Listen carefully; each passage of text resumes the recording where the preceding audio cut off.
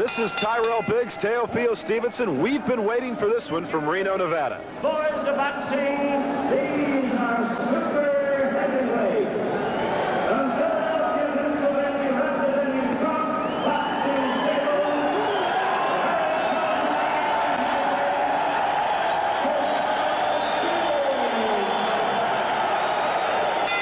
of course, a good look at Teofilo Stevenson. Still a happy look on his face as Tyrell Biggs was just introduced. And Al, how long can this man continue to go? Of course, when you're fighting just three rounds, you can continue in this game for a number of years. Indeed, and he's 33 years old. He gets a little boo from the crowd, but they respect his ability.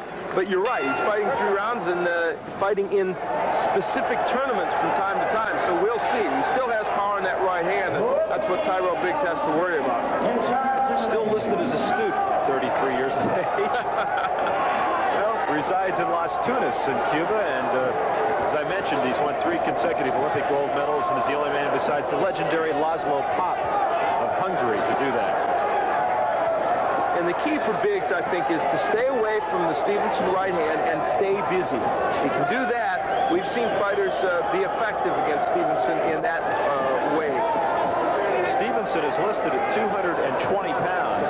Now, he used to fight around the 202.5 range, and I would say in the last four or five years, he has really put on a considerable amount of weight. It's a natural process for all heavyweights. They all tend to get uh, heavier as they hit their 30s.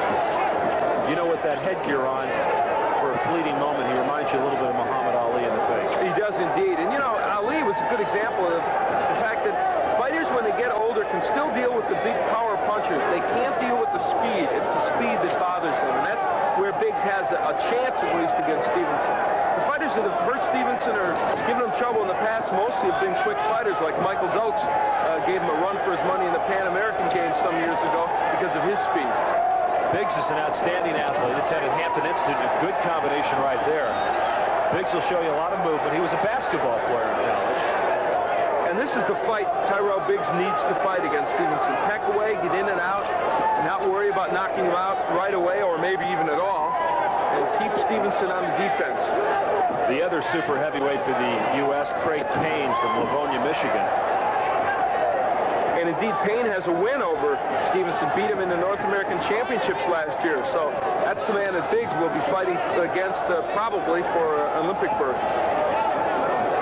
Stevenson also has some competition in Cuba. There's a young man by the name of Jorge Gonzalez coming up who is six feet six inches tall and 217 pounds. So they like their heavyweights tall and rangy down in Cuba. Biggs is doing a good job with the jab, keeping it in the face of Stevenson. And Teofilo yet to get off. Of course, we've seen this before from him. He waits, he bides his time, always feeling that the right hand will get the job done for him. Crowd in Reno, Nevada chanting USA as the Cubans with a 7-4 advantage in this dual competition. And once again, the lighter weights got the U.S. off to a pretty good start, but the heavier weight divisions is where they fall behind. You know, you can sense as you watch this fight, people just sitting waiting for that right hand of Stevenson to be dropped on uh, Biggs. Left hand by Biggs lands as we come down to the end of the first round between Tyrell Biggs and Teofilo Stevenson. Monday, ESPN Motors into Moscow are ready to rumble in the ring. Find out who takes it on the chin when these arch rivals clash. Nemesis in search of a knockout when the USA meets Russia Monday. Thursday, we'll show you the NFL's best ever teams. The leaders of the league from now and then are coming to play on ESPN Thursday. Second round action. Tyrell Biggs, Philadelphia, PA, and Teofilo Stevenson. And in that first round, how did you see it? I think Biggs was doing most of the work, uh, landing most of the punches. I think you'd have to give him the round. He's able to stay away from Stevenson and still score effectively. What do you have to do to beat Teofilo Stevenson? There are certain ways, obviously, to do it, even though his record against Americans is incredible. He's beaten all of them but one, of think. Think that the way to beat him is to do what Biggs did in that first round. Use a lot of movement, stay busy, stay away from that right hand, and throw combinations. Stevenson, when he's hit with combinations, tends to get flustered and uh, get into a defensive shell, and so he can't attack you. That time, Tyrell Biggs landed a good left jab, but he didn't follow it up. So we'll see in the second round if Biggs can put some combinations together.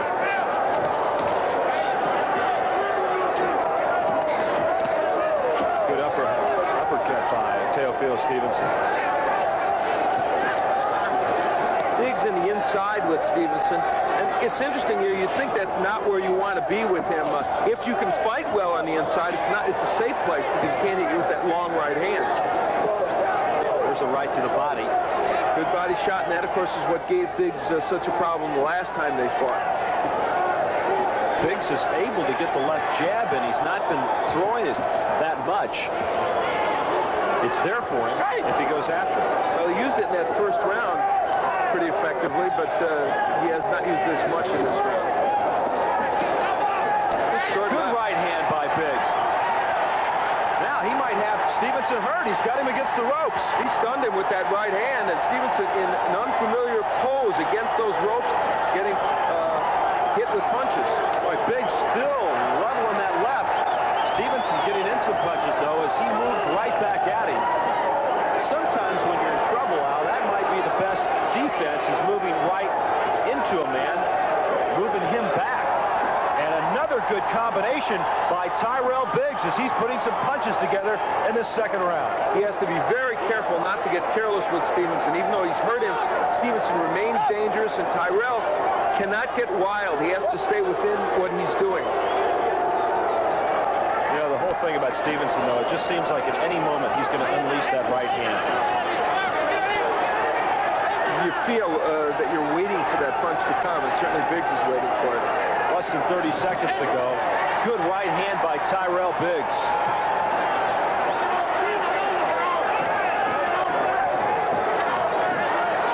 Misses with a wild left. Stevenson just sticks the left out. He really doesn't put too much behind it. And Biggs came up with a left hand. It might have caught the chin of Stevenson because his legs wobbled just a bit. And that would have to be a good second round for Tyrell Biggs. Extremely good. I think he's put two good rounds together. Uh, round one, uh, he, he danced, boxed, and in round two, a lot of power. Tyrell Biggs, part of the Operation Gold, working out of Colorado Springs, but he's been coached by George Benton, who is a very Who is a very fine trainer. Manuel Steward over there on the left giving him uh, some advice. And boy, there's a lot of water being thrown around in the corner of Teofilo Stevenson. You sense some urgency there. As I mentioned earlier, Stevenson not accustomed to doing anything but winning against Americans. You mentioned Craig Payne got him on points recently, but throughout his career, he has been dominant He's beaten fighters like Michael Dokes, John Tate, Duane Bobick, Jimmy Clark, a fine fighter from the Florida area, although Clark gave him trouble. So he's beaten now all the amateurs just about that we've thrown his way from the United States. And Tyrell Biggs, if he can have himself a good third round, might be the exception. And it would certainly do a lot for Tyrell Biggs' hopes of being the super heavyweight in the 1984 Summer Olympics in Los Angeles. Biggs starts out with two good jabs, uh, a punch that, as you said, he, he didn't use as much in the second round. What do you think Biggs' strategy ought to be in this round? Just to kind of stick and use that jab and try not to get hit? Well, I would think that that, that would be a good strategy, but he's got to use the right also. He's got to keep punching in combination. The crowd here in Reno really picking up the USA chant. Now look at Biggs' move, very stylish as he backpedals. That doesn't get you any points. It doesn't really impress anybody, unless maybe you're trying to set something in the opponent's mind that your legs are fresh and you can still get up on your toes.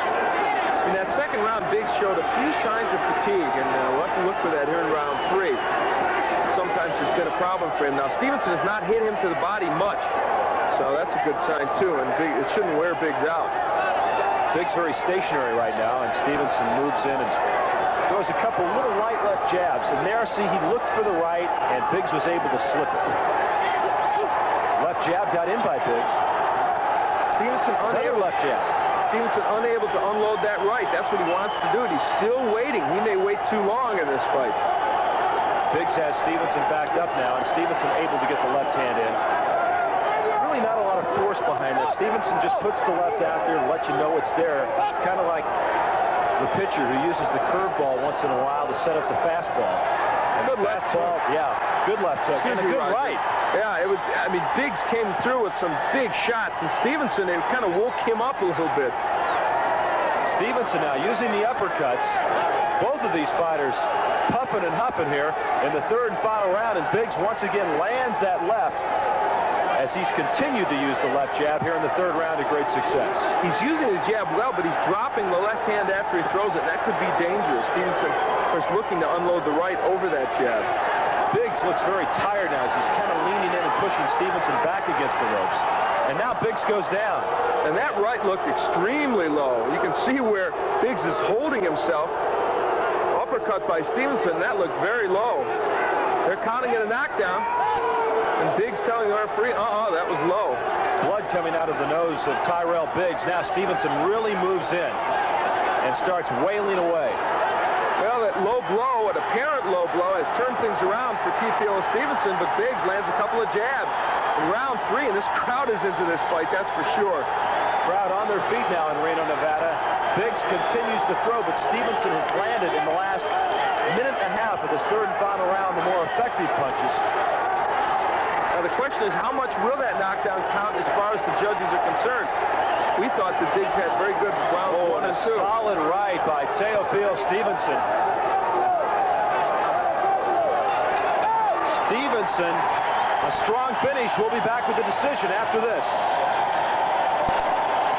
You know, the business world moves fast. I've found only one publication keeps pace with it every business day. Only this, the Wall Street Journal.